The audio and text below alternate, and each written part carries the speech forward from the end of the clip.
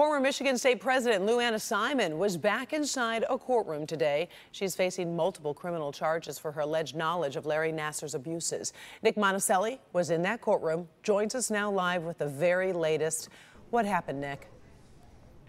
Karen, good afternoon. I wish I could tell you there was a whole lot to talk about, but right now this case is ongoing. This is actually the second day of testimony. They'll be back in this Eaton County Courthouse again tomorrow for more testimony. This is just a preliminary hearing, so there are many more steps left in this. I do want to show you some video to kind of recap what happened though today. You can see Lou Anna K. Simon walking into court here on this again second day of the hearing. As you're probably aware, she was the president of Michigan State for more than a decade and was in charge when Larry Nassar was molesting kids, many of them at Michigan State.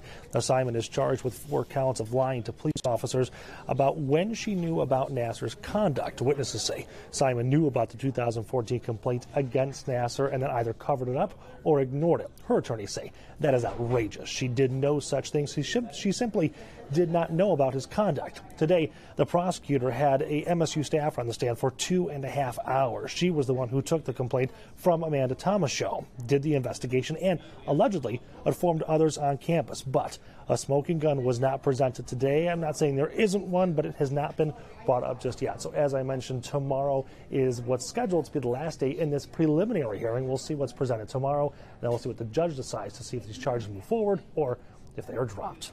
We're live here in Charlotte. Nick Monacelli, Local 4. All right. Thank you, Nick.